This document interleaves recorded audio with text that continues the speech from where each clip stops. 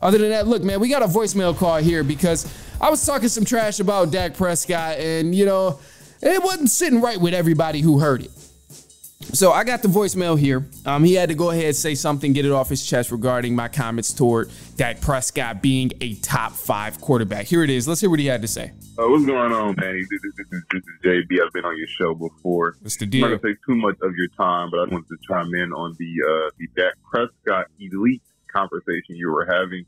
Mm. My humble opinion, Dak Prescott, as well as the Dallas Cowboys organization, are overrated.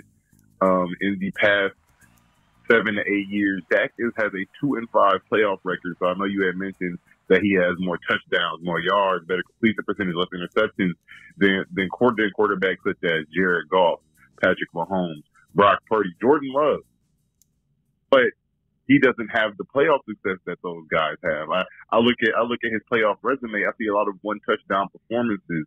He's never he's never gotten pa- gotten past the divisional round. So that's why I feel like Dak Prescott is overrated. At the end of the day, it falls on the quarterback to help push and propel your team to the playoffs. You should get better as the playoffs come around. Your your your stats shouldn't shrink once you get to the playoffs. Yeah, that, that was my time. Thank you for having me. Okay, so you know what? Facts. I'm speaking facts on here, JB. I, appreciate that. Okay, so look, man, here's how I'm gonna address that because there was a lot of facts about the playoff performances. That's usually where we always give Dak a lot of hell from his playoff performances. As you just mentioned, they've been shit. He has not been able to win in the playoffs. The Cowboys haven't had a playoff win in years. I think maybe even a decade or so.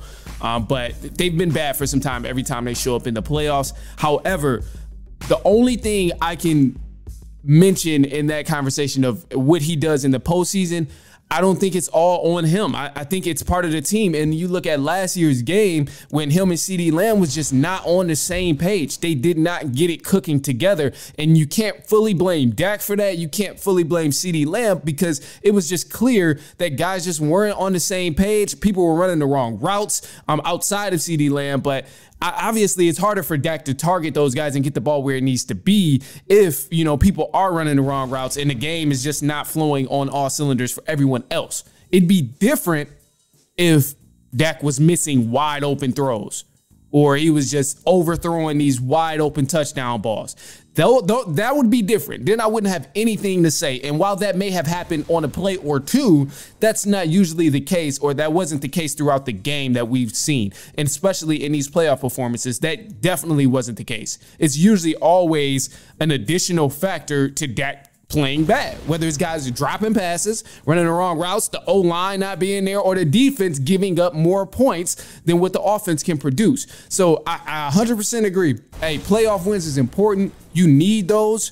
Um, I mean, you shouldn't be considered a great quarterback if you're not winning. But also, I disagree with that logic all the time because then that we kind of fall into a slippery slope of is Aaron Rodgers a GOAT? Because he's only had one uh, Super Bowl win and Tom Brady has seven Super Bowl wins. Like, you know, then we kind of get into that debate because even though Aaron Rodgers hasn't been winning as much as Tom Brady, he damn sure has just enough skill.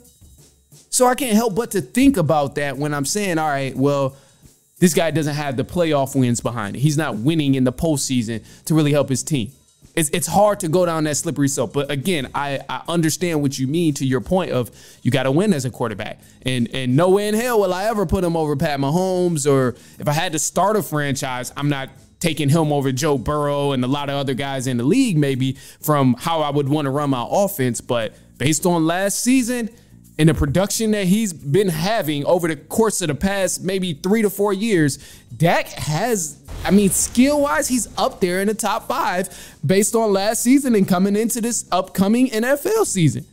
I still stand on it. I still stand on it that he's gonna be he's a top five quarterback. So I mean, no, that that's that's just my thoughts. But that was a great perspective, JB. I of course appreciate you calling. Anybody heard this and they're like, you know what? I want to chime in on is Dak a top five quarterback and who else is the top five quarterback? Go ahead, shoot us a quick take. 219 413 9405. Go ahead, call us, and then, of course, we'll play your take back on our next episode. Um, but anyway, look, man, we got some stuff coming up. Got a side note about some Netflix show called Receiver.